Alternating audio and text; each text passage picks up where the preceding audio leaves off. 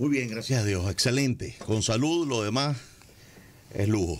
Con respecto a la campaña anterior, en la campaña presidencial anterior, ¿cómo te está yendo? Mira, muy bien. Lo único que nuestro país, lamentablemente, después de seis años se ha deteriorado aún más. Eh, de manera pues que no es fácil hoy eh, las movilizaciones, no es fácil. El, el, trabajo político se ha convertido en un trabajo de, de, de, costoso, mucho más costoso que hace seis años, por razones obvias, ¿no? Todo el mundo está en, en alguna necesidad económica. Y bueno, es duro entrar en esos barrios donde vamos, en esos lugares donde estamos trabajando, sin ser movidos por la necesidad de la gente. Hay que tener no solamente eh, un mensaje, hay que tener un corazón y ese corazón es afectado profundamente cada vez que estoy caminando por las calles de este país. Y con respecto al apoyo, al apoyo de la gente, con bueno, respecto a la anterior campaña. Fíjate, fíjate que eh, en las diferentes encuestas que andan por ahí rodando, algunas falsas, otras, otras, otras verdaderas, eh, eh, más o menos mantengo, digamos, el, el, la última de Consultores 21, por llamar, uh -huh. por, por, por, nombrar alguna, eh, uh -huh. me daba 11, 11 puntos. Eh, acuérdate que la última vez, en la última campaña, yo saqué 10% del, del, del, del de, la participación, ¿no? Eh, de manera que más o menos, según eso, me mantengo ahí y es más o menos lo que estoy percibiendo en, en la calle, ¿no? Eh, esto está sigue polarizado.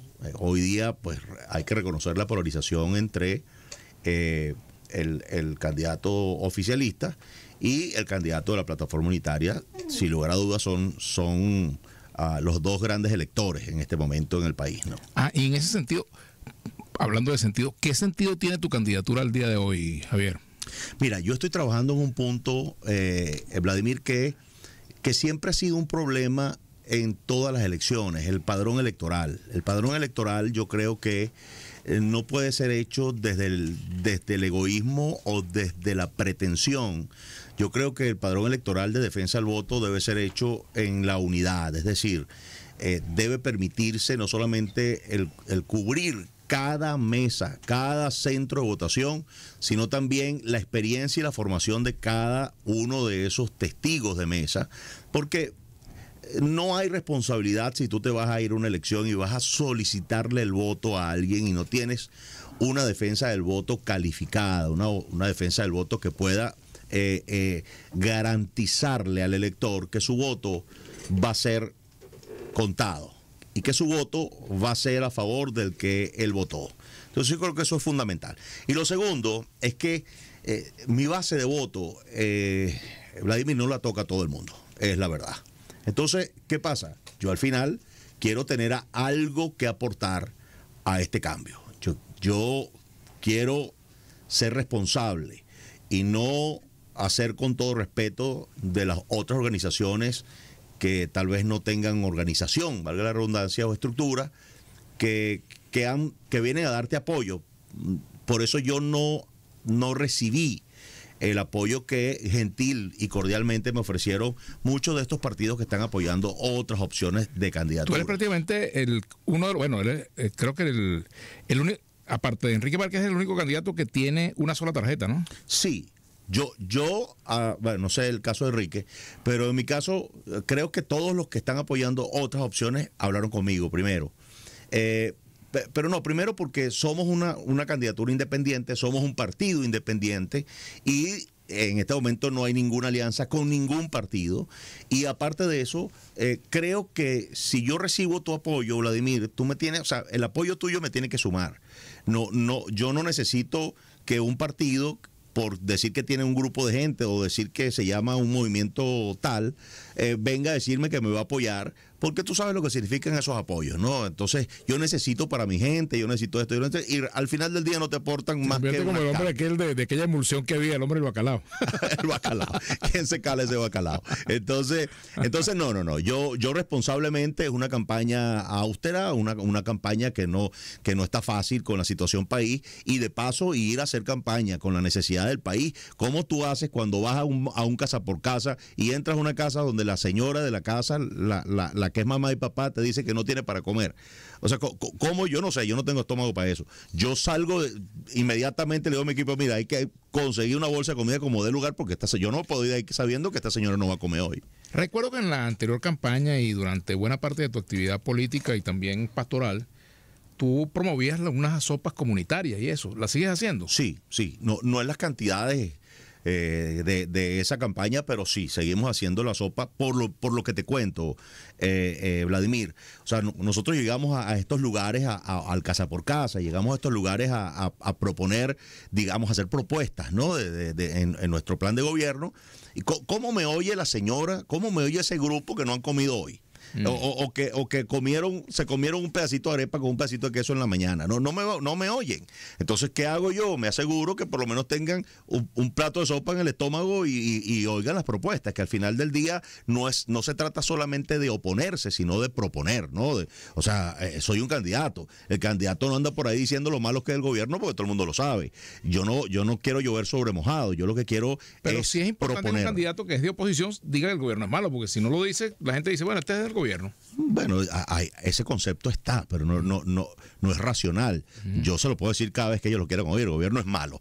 Y, si no me creen, bueno, vean la situación país, la situación educación, la, situación salud, la situación sueldo y salario, la situación país entera. Entonces, yo creo que decir a la gente, oye, este, eh, eh, eh, con todo respeto de tu posición y de tu, de tu condición. Pero si yo no tengo un pelo en la cabeza, ¿por qué le voy a decir a la gente que no tengo un pelo? O sea, con, verme, ya sabes. Si supiera lo cómodo que me imagino, no te tienes que peinar, lavar el cabello, nada de eso. Pero en cualquier caso, o sea, lo que está a la vista, ¿para, para qué se necesita anteojos? ¿no? Es lo que dice el dicho. Entonces, yo, voy con propuestas, porque el asunto no es solamente decir que el gobierno es malo, es decir, cómo vamos nosotros a enfrentar la educación, la salud, cómo vamos a enfrentar la economía. O sea, son cosas que, el, que el país tiene que, preguntar. ¿no? Javier Bertucci, candidato presidencial del cambio. Fíjate, Javier, el gobierno ha, en los últimos, pues, sobre todo en este último año, ha tenido una relación muy cercana con un conjunto de iglesias evangélicas, cristianas, en fin, y un poco así como pudiéramos decir que, que comiéndote el maíz por la orilla, ¿no? Sí, sí, eso es lo que yo creo. Ajá. ¿Y cómo le ha ido el gobierno con eso? Muy mal. Muy mal, muy mal, muy mal porque eh, no es diferente, eh, Vladimir, cuando tú vas a una iglesia cristiana evangélica, no es diferente que los asistentes sufren el país que tenemos. Entonces, y saben también dónde está la responsabilidad de eso, ¿no? Entonces, de cada 10 evangélicos, vamos a, vamos a ponerlo de esa forma, ¿no? De cada 10 evangélicos, 8 no quieren al gobierno. Entonces, que el pastor de esa iglesia, pues yo creo que la gente esté clara en esto, que el pastor de esa iglesia reciba 20 sillas, un aire acondicionado y un equipo de sonido, no va a hacer que los 100 que van a su iglesia terminen votando por el gobierno. Hmm. No, no lo van a hacer, te lo puedo asegurar. Ah, el pastor sí va a votar por ellos, seguramente porque ya hizo un compromiso. Y, los pastores normalmente son gente de palabra. Pero, pero, la gente que asiste a la iglesia, que se le va la electricidad ocho horas al día, que ganan un sueldo que no les da la base, que, que tienen y sufren todos los males que todos sufrimos los que vivimos en este país. Eh, lo saben. Entonces ellos no van a terminar votando por el gobierno. Eso es una, eso es una estrategia equivocada. Si hablamos de una estadística, de una cifra, ¿cuántos, cuántos evangélicos hay en Venezuela o cristianos evangélicos eh, de las distintas corrientes, pues no, no católicas? De... Llegamos a ser en el último censo 8 millones eh, antes del éxodo. Antes del éxodo, yo creo que ahora podemos estar en 5 millones de, cristianos evangélicos en el país. Eh, porque bueno, es como todo, ¿no? Eh, te lo digo por, por, por, la congregación que pastoreo. a nosotros por lo menos se nos ha ido el 30 o 40% de los asistentes en otros países, están en otros países. A diferencia de que nosotros somos una organización mundial y entonces, bueno, mira, ya llegó esta, familia y tú sabes, le, buscamos apoyo, le buscamos cómo no cómo no lleguen desvalidos ¿no? en esos países donde van. Hemos visto, por ejemplo, imágenes de, algunos de, pastores incluso bendiciendo al presidente, le dan la bendición, le, dan fuerza, etcétera. ¿Qué peso y qué, qué, valor tiene eso?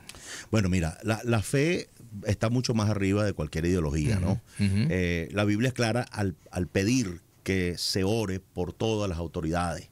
Eh, eh, hablando de, una posición generalizada, yo creo que una oración no se le puede negar a nadie. Es como un vaso de agua. Eh, sí, es como un vaso, es como un vaso por cierto, no tenemos agua al candidato. Sí, no me han dado agua. tenemos que darle agua al candidato. Entonces, entonces la, Los Ángeles. La, oración no, no se niega a nadie, a, nadie, a nadie. Igual que una bendición, o sea, tampoco se le niega a nadie. Ahora, bueno, ¿qué, ¿qué hay detrás de ese pastor que bendice al presidente Maduro? Bueno, no sé, tal vez hay una oferta de algo o, sencillamente el hecho de, poder bendecir al presidente son personas, normalmente los pastores vienen de condiciones muy humildes y bueno, de repente un pastor que está en su barrio, pateando su barrio, de repente lo tiene en un lugar y tiene el presidente enfrente y el presidente le dice que ore por él. Lo va a hacer con, con todo de nuevo y devoción. Ahora te pregunto, bendición no es igual a ganar una elección. Jamás. Jamás. Es más, te lo digo por experiencia propia, porque yo fui candidato al alcalde en Caracas, fuimos a una comunidad y unos pastores me bendijeron y todo, pero no gané.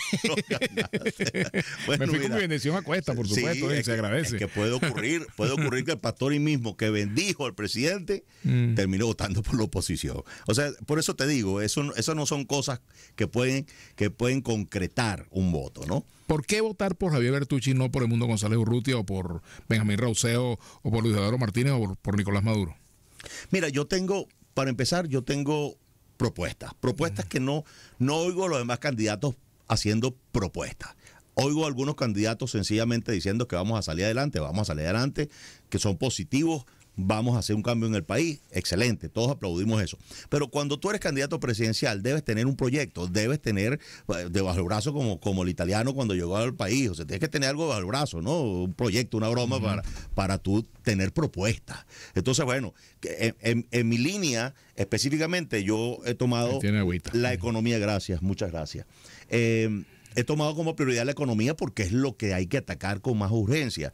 Y con respecto a la salud y con respecto a la educación, no es solamente decir que voy a cambiar la educación o voy a atacar el asunto de la educación. No, nosotros proponemos hacer fondos específicos para cada línea que nos permita administrarlo o que se le permita administrarlo a una representación de ese gremio. Es decir, yo propongo que se haga un fondo especial para la recuperación de las instalaciones y del sueldo y salario de la educación y un fondo especial para atender el, el sector salud en eh, estructura, en equipamiento, en medicamentos y en sueldos y salarios. Un fondo que permita conseguir donaciones internacionales. Un fondo que permita ser administrado por directivos del gremio, no, no por imposiciones del gobierno, que en este caso, pues si yo gano la presidencia, yo no le impondría una, un, un, ministro, en este caso, que maneje ese fondo de ninguna forma. Más bien el ministro se pondría a trabajar a hombro con ese fondo y con esos directivos que van a salir del mismo gremio. De esa manera nos aseguramos que cada dólar conseguido, cada recurso conseguido, vaya a ser administrado por los dolientes de ese fondo, que son los de salud y los de educación. Entonces, esa es mi propuesta en esas dos líneas, porque creo que si mejoramos la economía, Vladimir, y rápidamente atendemos esas, esas dos líneas fundamentales de la sociedad, como es la salud y la educación, nosotros vamos a sentir un golpe de recuperación inmediata inmediata, igual que los sueldos y salarios. A mí me sorprende cuando yo veo algunos candidatos ofreciendo dos mil dólares para los educadores. Mm. Cónchale, yo, yo digo, ¿por qué jugar con la esperanza de la gente? Yo creo que, que, aquí hay que ser muy consciente, eh, Vladimir, que no podemos seguir jugando con la esperanza de la gente. Oye, una, una y otra vez, y, ahora sí, y ahora sí, ya, ya, nos parece como el cuento del, del, del, lobo feroz, ¿entiendes? Entonces, oye, la gente... Eh, termina por la poquita esperanza que le queda, bueno, pisotearla y convertirse luego en, en en opositores de la política y eso nos dejaría, digamos, en una posición desvalida frente a este gobierno. Entonces, bueno, creo que no se, no se debería hacer. ¿Qué le dices tú a quienes están planteando de aquí en, nuestro chat, tanto en mi cuenta como en la cuenta de Mundo UR, que declines a favor del mundo González Urrutia. Mira, nos quedan setenta y pico de días. No lo descarto. En mi opinión personal, me parece que el mundo es un, es un buen es un buen hombre, es un, es un, buen señor. con él? No, no, no, no, hasta ahora no.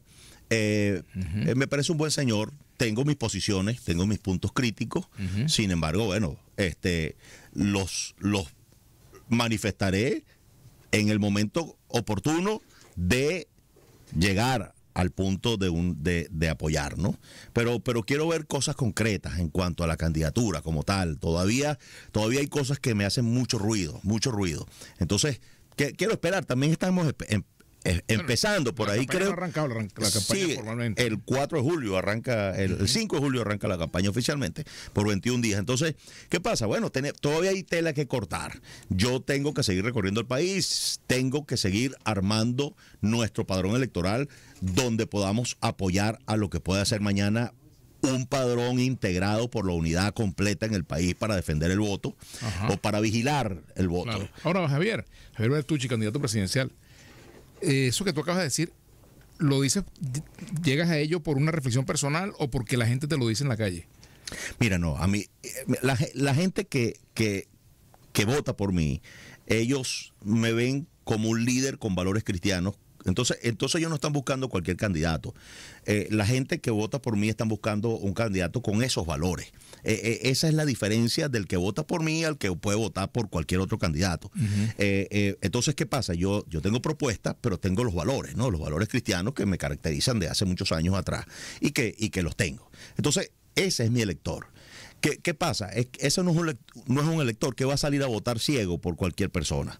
De por sí, usualmente ese grupo no votan. Ese grupo casi siempre están adheridos a la abstención. Históricamente ha sido así. Entonces, bueno, yo, yo quiero animar a mi grupo, yo quiero animar a mi elector, yo quiero animar a aquel que quiere un presidente con valores cristianos, con valores familiares, eh, quiere un presidente con propuestas. Bueno, yo, yo quiero encarnar toda esa exigencia del electorado que me sigue. Fíjate que, te repito, la última que vi de las encuestas publicadas, que todos los días sale una, eh, eh, creíble o no creíble, bueno pero la última Consultora 21, bueno, hasta donde sé, siempre los he visto por ahí haciendo encuestas, eh, bueno, me daba 11, 11 eh, puntos en la intención de voto. Eh, oh, casi igualado con el otro con el, otro candidato y luego el candidato del oficialismo y de primero por supuesto como sale en todas las encuestas el candidato de la plataforma. Entonces bueno esa es la situación ahora. Qué pasa yo sigo ofreciendo propuestas a, mis electores y si mañana responsablemente yo le pido a mis electores que apoyen o que salgan a votar por otro candidato, tiene que ser un candidato que por supuesto tenga mínimamente los valores que yo represento. ¿Qué quiere decir eso? yo, mañana no puedo apoyar a una persona antagónica a mis valores. ¿Cuál es el candidato antagónico a tus valores? En, este, en esta campaña?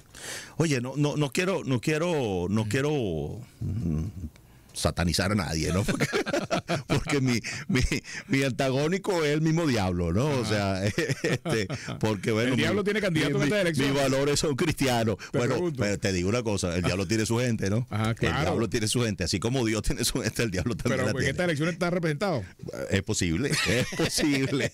lo, lo que te puedo decir es, Vladimir, que que yo represento el bien, yo represento la luz y yo represento los valores cristianos. Ahora, ¿qué, yo no podría hacer?